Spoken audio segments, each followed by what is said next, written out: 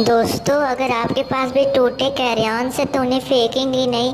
उन्हें किसी चम्मच से इकट्ठा करके गर्म कर लेंगे, फिर किसी इंजेक्शन से इंजेक्ट करके उसे किसी ग्लू स्टिक या लिपस्टिक के डब्बे में रख देंगे ठंडा होने के लिए। और फिर आपका कलरफुल कैरियन तैयार है।